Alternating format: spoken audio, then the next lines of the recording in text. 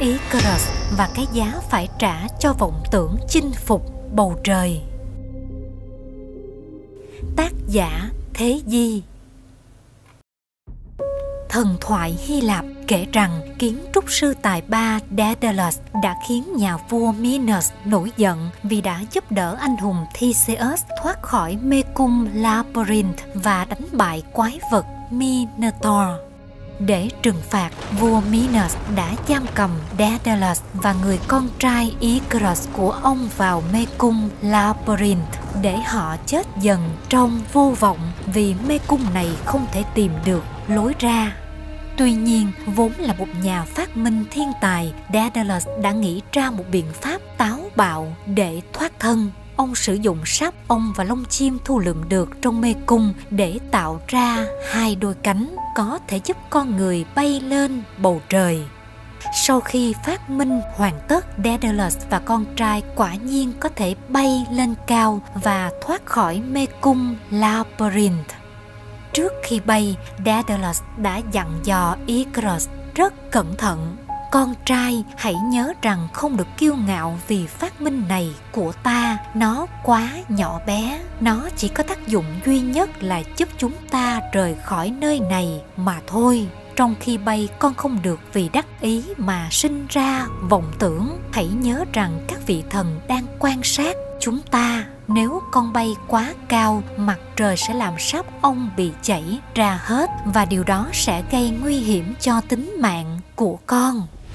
Icarus đồng ý với cha, nhưng sau khi bay lên trời, rời khỏi mê cung Icarus càng lên cao, càng cảm thấy hưng phấn. Những gì cha dặn dò đã không còn lưu tâm nữa. Cậu dần nảy sinh tâm kiêu ngạo, cảm thấy dương dương, tự đắc. Vì trước giờ chỉ có các vị thần mới bay được, có ngờ đâu hôm nay hai cha con đã thành công chinh phục bầu trời cậu bèn nghĩ nếu lên cao hơn nữa thì sao nhỉ? Có đột phá được tới cung điện của các vị thần không? Có thể lên đến nơi còn cao hơn cả thần suốt không? Thế là Icarus lại tiếp tục bay cao hơn nữa. Cậu thậm chí không hề nghe tiếng réo gọi, đầy lo lắng của người cha Daedalus đang vang lên từ bên dưới lên đến một nơi rất cao. Icarus nhìn thấy mặt trời, lóa mắt. Cậu muốn đến gần hơn nữa để quan sát công việc của thần mặt trời Helios. Nhưng lúc này cậu mới hốt hoảng vì nhận ra sóc ông trên đôi cánh của mình bắt đầu tan chảy. Icarus vô cùng hoảng sợ, nhưng hối hận đã muộn. Muốn bay ngược trở xuống cũng không còn thời gian nữa trong khoảnh khắc sáp ong tàn hết, đôi cánh của Icarus đứt ra, người cậu rơi thẳng từ trên trời xuống biển sâu. Mặc dù vô cùng đau thương và tiếc nuối cho số phận bi thảm của con trai mình, nhưng Daedalus cũng không còn cách nào khác ngoài việc tiếp tục cuộc hành trình. Nghịch lý thuyết vô thần câu chuyện trên là một lời nhắc nhở đối với thế nhân đừng vì có chút hơn người mà trở nên ngạo mạn, tự cao, tự đại, muốn làm cả những việc vượt khỏi năng lực của mình. Thậm chí tự coi bản thân là thần thánh để rồi phải trả một cái giá rất đắt. Ở một tầng ý nghĩa sâu hơn, câu chuyện này minh họa cho câu nói của einstein, cái tôi càng lớn thì hiểu biết càng nhỏ và ngược lại. Daedalus là một người rất thông minh và thông thái.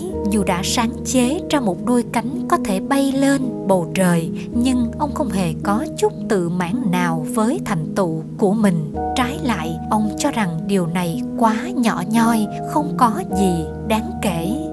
Còn Icarus con trai của ông dù chưa nắm được tri thức gì đáng kể bản thân chỉ là người sử dụng lại phát minh của cha mình nhưng lại vô cùng đắc chí, thậm chí còn cho rằng bản thân có thể đột phá bầu trời, siêu việt khỏi cảnh giới của các vị thần có một cách nói rằng, người vô thần tin vào khoa học, còn các nhà khoa học vĩ đại lại tin vào thần câu chuyện của Icarus cũng vừa khéo ứng với điều này. Icarus chỉ tin vào phát minh khoa học của Daedalus, chứ không tin vào quyền năng của thần. Trong khi đó, Daedalus lại là một người biết tôn kính, nể sợ thần. Ông biết phát minh của mình trong mắt thần là quá nhỏ bé nên không dám với cao cũng cẩn thận dặn dò con trai điều đó chỉ tiếc là Icarus không thấy thì không tin tới lúc tin thì đã muộn rồi cả thế giới đều biết các nhà khoa học vĩ đại trong lịch sử nhân loại như Galileo Galilei, Isaac Newton, Louis Pasteur, Blaise Pascal, Albert Einstein đều là những người tin vào thần, tin vào sự tồn tại của đấng tạo hóa. Nhưng rất nhiều người ngày nay dùng cụm từ phản khoa học để công kích vào tôn giáo và các niềm tin tâm linh vậy lẽ nào các nhà khoa học vĩ đại trên cũng là phản khoa học hay sao? Einstein từng nói những điều nhân loại biết được chỉ giới hạn trong một vòng tròn còn những điều nhân loại chưa biết đó là thế giới bên ngoài vòng tròn và nó là vô hạn.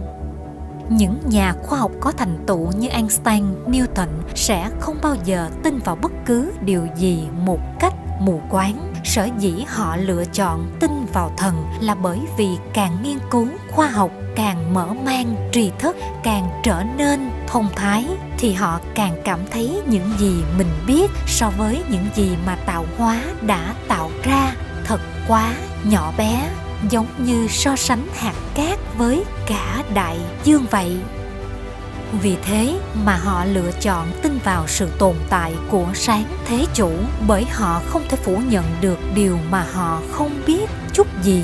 Điều này không phải mê tín, mà trái lại là rất có lý trí. Còn những người dùng danh nghĩa khoa học để công kích tôn giáo thực chất cũng giống như ý Icarus vậy, đứng trên thành tựu của những người tin vào thần nhưng lại muốn phủ định thần. Điều này có lẽ chính là do tri thức hữu hạn và cái tôi quá lớn mang lại.